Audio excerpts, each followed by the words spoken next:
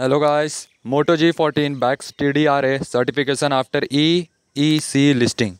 Could launch soon? Report. Moto G14 predecessor Moto G13 sports 6.5 inch LCD display.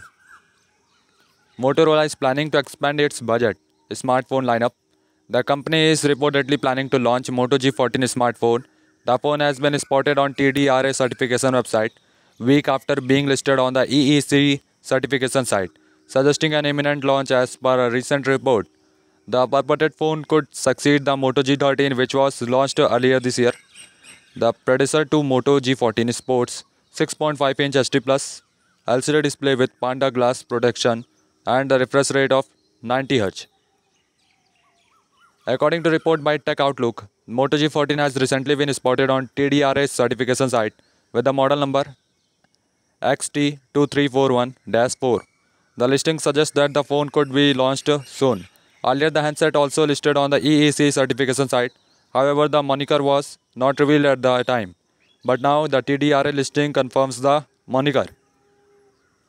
Notably, the TDRA listing does not reveal any specification or details of the purported smartphone.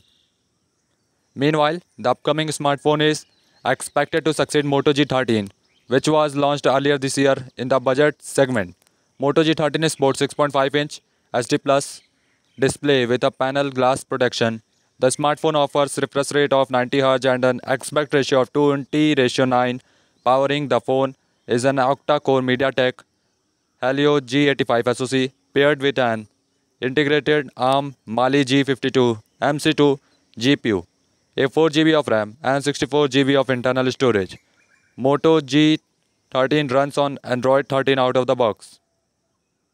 For photography, the budget smartphone ships with a triple rear camera unit comprising 50 megapixel primary sensor, 2 megapixel macro lens, and another 2 megapixel depth sensor. For selfies and video calls, there is an 8 megapixel front camera. The phone packs 5000 mAh battery with 10 watt charging support and comes with an IP52 rating. तो guys तब तक ले good bye tata bye bye